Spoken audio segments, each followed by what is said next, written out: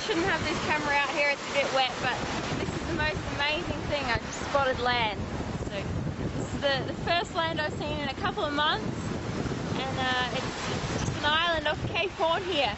And uh, I've also just picked up a boat on the AIS. The AIS just uh, picked up a boat, but um, can only see it every now and again in the, the swell, but it's, uh, it's amazing land. see it there?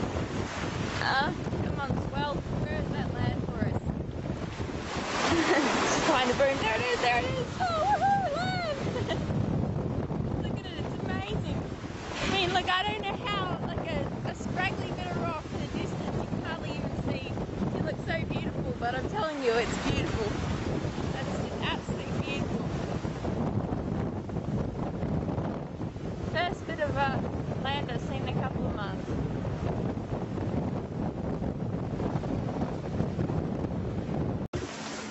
Well, this? It's uh, 13th of January and uh, I'm sitting here looking out at uh, Cape Horn out the window.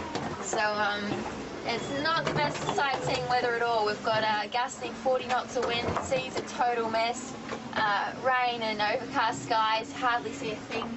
But um, 10 nautical miles out there, I can just see this beautiful big outline of uh, Cape Horn. It's uh, it's just like a stories. It's um, just how I imagined it. So it's amazing. I mean, sure, it'd be nice to have some better weather and get a better look at it, but um, I think it's almost as special to see it like this. It's um, yeah, this is amazing. So, uh, we've done it. We've, uh, we've rounded Cape Horn. This is it.